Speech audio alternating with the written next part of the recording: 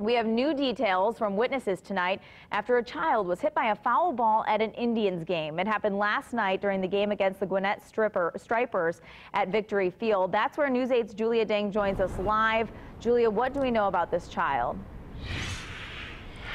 Nina, the child was sitting along the first baseline when he was hit by the ball. He was taken to a local hospital after EMTs treated him here at the stadium. Uh, this is all according to a statement from the team. They haven't shared the child's name, any details about his injuries, or his age.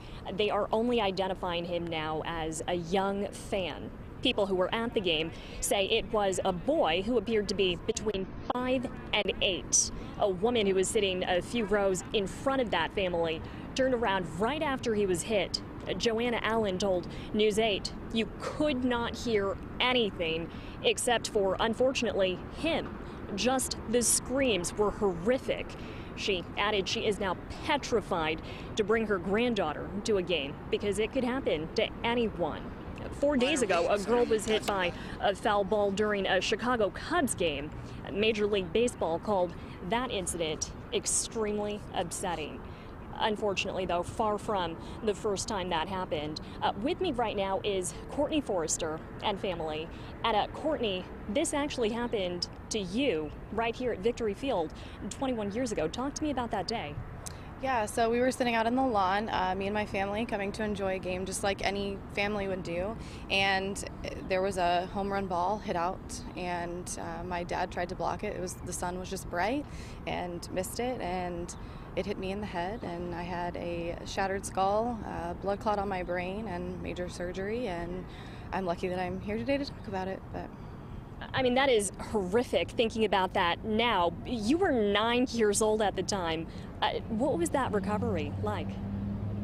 you know, at the time you're a kid, you don't think about those things. Um, so I, I, vaguely remember, uh, you know, people just coming and sending things to me, and you know, I missed some time out of school for it. Uh, now it's hard for me to come to games. Uh, last time I came to a game was actually when I was pregnant with my son. He's now eight, and he you know, we are very involved in baseball, and it's still hard for me now, but it's something that you don't want to take away from the kids and the rest of the family when it is something you enjoy. So I go and I try to make the best of it and just hope that it doesn't happen again.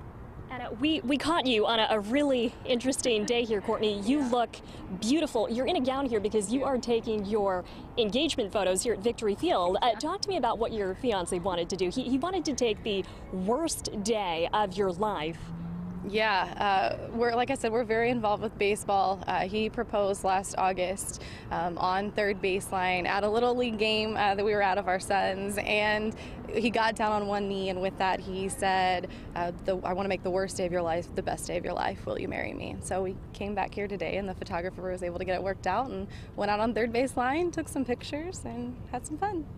This is incredible. Courtney, thank you for taking the time to talk. And we're going to have much more from Courtney, Kyle, and Alexander here tonight at 10. For now, reporting live, Julia Deng, Wish TV, News 8.